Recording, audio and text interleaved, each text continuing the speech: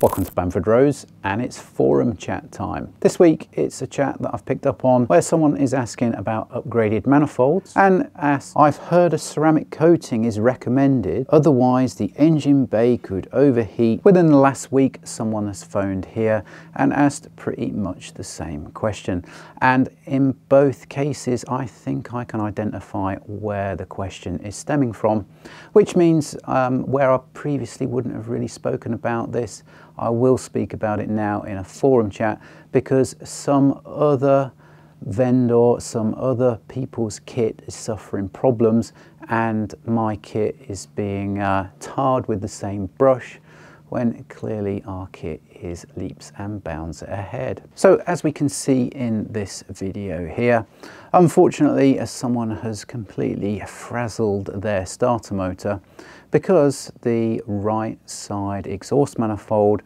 which the standard factory exhaust manifold did have heat shielding on for a reason. Uh, this particular exhaust manifold has zero heat shielding on.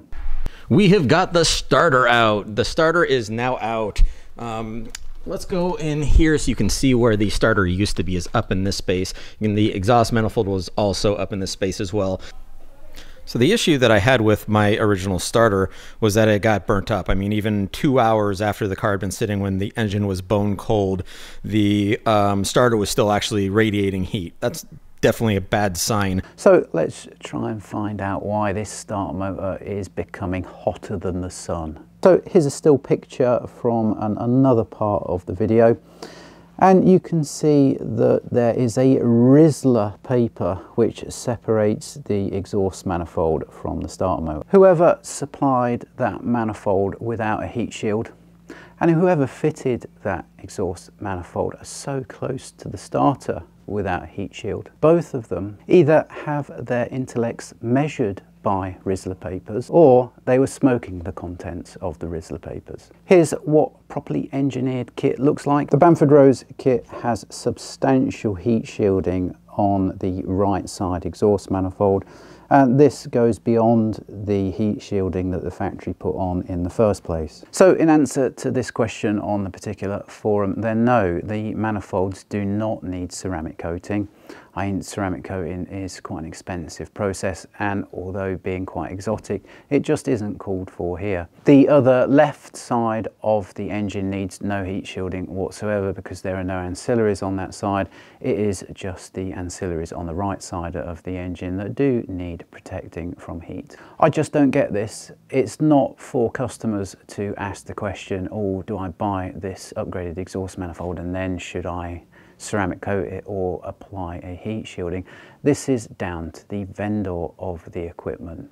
How can you release an exhaust manifold which will fry ancillaries, which is only separated by the thinnest slither of Rizla papers of an air gap between the manifold and this particular ancillary, the starter motor. It is a defect in the product not to come with a heat shield and for anybody that's ever had one of these products fitted that does not have a heat shield on the exhaust manifold, I would suggest you get back in touch with whoever you bought that kit from, whoever installed it for you as part of a contract of supply and fit that they take your car back in, remove the exhaust manifold and fit a heat shield. If not, as was the case with this poor chap Rich in the video here, means running without a heat shield is inevitably going to end up in starter motor failure or worse, other ancillaries which are fried.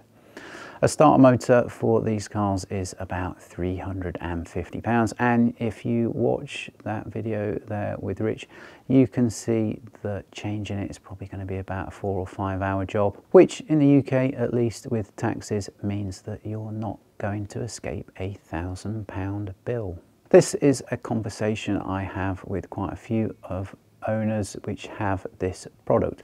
For some reason, whoever fits this kit to their car, or if the car was passed to another owner, I always see the car back here for an ECU remap because it seems that the industry is incapable of remapping the ECU on these cars properly to give fault-free and smooth drivability and actually deliver more spark, fueling get more power, uh, the purpose of an ECU remap.